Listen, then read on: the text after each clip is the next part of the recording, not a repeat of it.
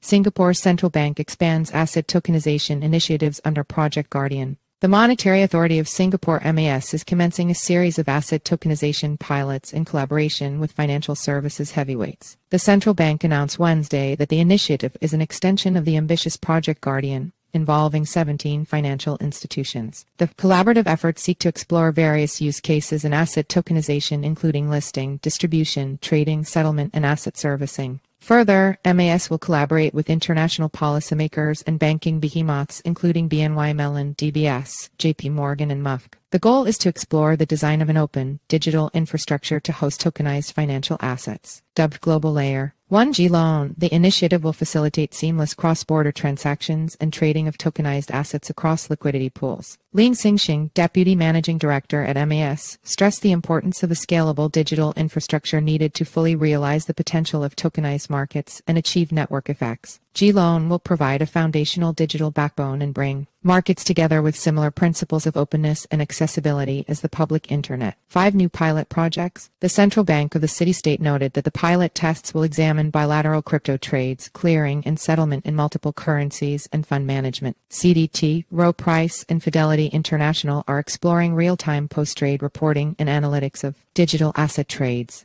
while BNY Mellon and Ak banks are testing a cross-border FX payment product. Furthermore, Ant Group is testing a treasury management service for real-time clearing and settlement. Asset management giant Franklin Templeton is testing the issuance of a tokenized money market fund through a variable capital company VCC structure. In the final pilot, JP Morgan and Apollo are collaborating on leveraging digital assets for more investment and management of discretionary portfolios. In addition to that, MAS announced the launch of a new Project Guardian Funds workstream. It will focus on the native issuance of variable capital company VCC funds on digital asset networks. Enter your email for our free daily newsletter, a quick three-man read about today's crypto news. Sign up in SRC equals HTTPS slash slash co slash p slash ml300 jpeg all equals image class equals imguid equals newsletter pop-up img